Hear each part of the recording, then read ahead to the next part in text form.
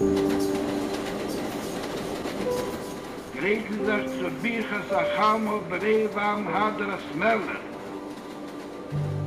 Anoshim und Noshim und Tav, behemschach zu Tfila Shachrit und behemschach und Biyachar mit Nisines Hatzdoko.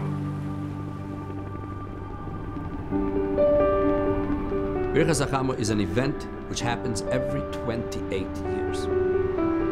Toshim Aleph, 1981, Birchas Hachama took place on the fourth day of Nisan, Daled Nisan.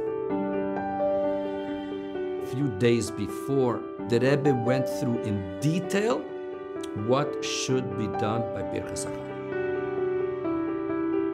The members of Vad Lafotza Sichas, who they used to write down the Sichas of the Rebbe, they prepared a booklet which was very, very clearly spelled out what the Rebbe said. It printed exactly the chapters of Tehillim and the blessings, the brachas, etc. It was Wednesday morning, 7.30, the Rebbe came to davening. The whole davening was a little bit of a novelty. Those years, middle of the week, Shachris, the Rebbe would daven upstairs by himself, and this time the Rebbe came downstairs to daven. So it was a, it was a very interesting uh, davening. Then we all went outside. The place was packed.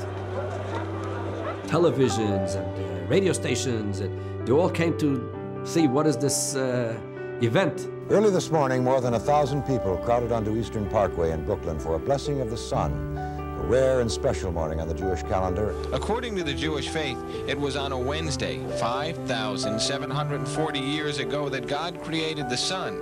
And once every 28 years, according to that faith, when the sun is in the same position, it is a time for celebration.